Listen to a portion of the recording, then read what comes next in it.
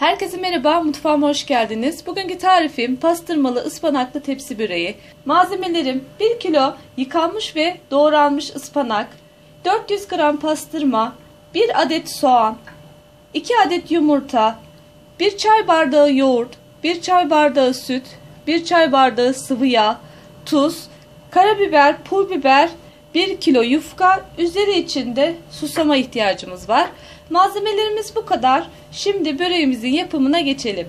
Evet tavamızı ocağa koyduk. Biraz sıvı yağ ekliyoruz. Böreğimizin içine hazırlayacağız. Yağımız biraz ısınsın. Yağımız biraz ısındı. Şimdi soğanlarımı ekliyorum. Soğanlarımızı birkaç dakika kavuralım. Ispanaklarımızı ekleyelim.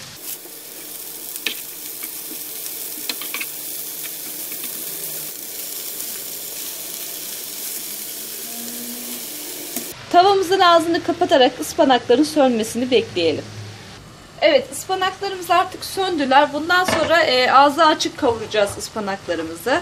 Biraz suyunu çekmesini bekliyoruz. Suyunu çektikten sonra pastırmamızı ilave edeceğiz.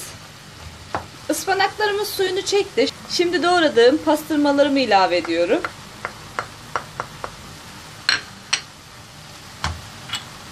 Karabiber, pul biber, çok az da tuz ilave ediyorum.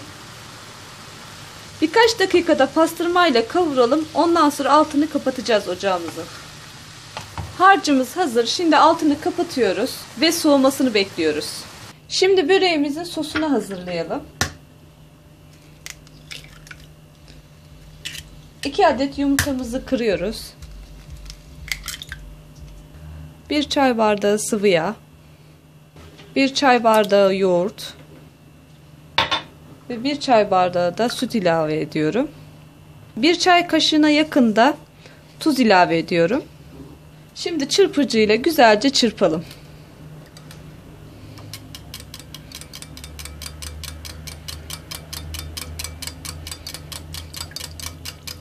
Evet sosumuzu da güzelce çırptık hazırladık.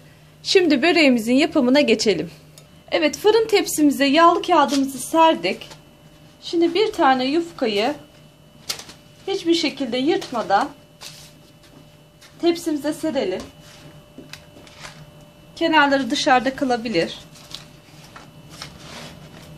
Yufkamızı serdik. Şimdi hazırladığımız sostan birkaç kaşık dökelim. Yumurta fırçasıyla her tarafına sürelim. Şimdi bir yufkamızı daha alalım ortadan bölüyorum. Yarım yufkamızı serelim. Dağınık dağınık koyabilirsiniz. Önemli değil. Şimdi diğer yarısını da koyuyorum. İsterseniz yırtarak da koyabilirsiniz. Öyle de güzel oluyor. Evet şimdi tekrardan sos döküyoruz.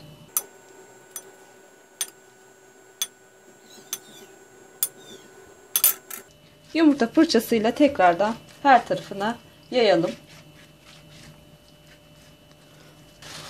Evet diğer yufkamızı da aynı şekilde serelim.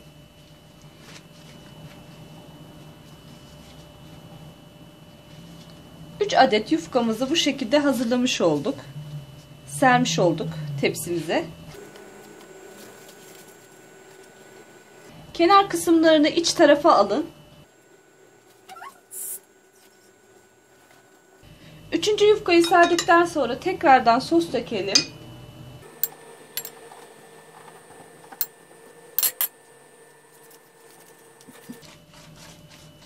Üçüncü yufkamızı da serdikten sonra içimizi koyalım güzelce.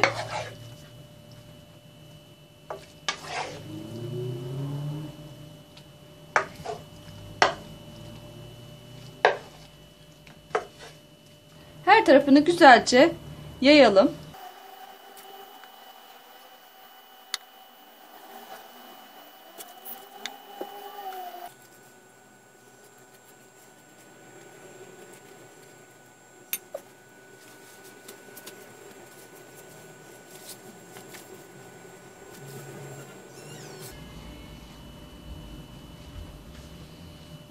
Bütün kalan yufkalarımı serdim. Şimdi en alta serdim yufkanın kenarlarını tepsimizin içine doğru alalım. Aldığımızın kenarlarını şöyle güzelce kalan sostan sürelim. Şimdi diğer tarafını da kapatıyorum. Aynı o tarafa da güzelce sürelim.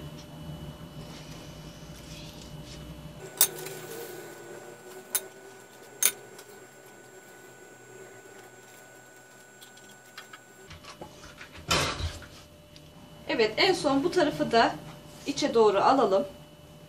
Böreğimizi hazırlamış olduk.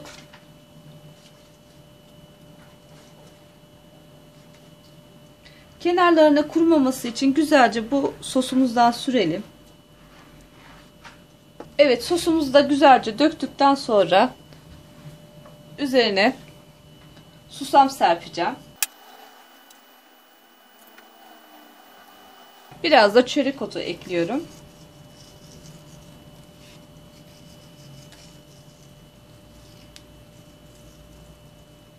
Evet çörek otu da ekledik. Böreğimiz hazır. Ben şimdi böreğimi bir gece bekleteceğim ve sabaha pişireceğim. Siz isterseniz hemen fırına verip pişirebilirsiniz. Ben sabah kahvaltısı için bir gece önceden hazırladım. Sabaha pişireceğim. 180 derece ısıtılmış fırında üzeri kızarana kadar pişirebilirsiniz. Ben de size pişmiş halini gösterip servis yapacağım. Evet ben böreğimi 180 derece fırında üzeri kızarana kadar pişirdim. İlk sıcaklığı gitmesi için de 10 dakikada beklettim. Şimdi bir makas yardımı ile böreğimi keseceğim. Evet böreğimiz servise hazır. Gerçekten de çok güzel oldu. Denemenizi tavsiye ederim. Pazar günlerinizi bu güzel börekle neşelendirebilirsiniz. Afiyet olsun. Yeni videolarla görüşmek üzere. Hoşçakalın.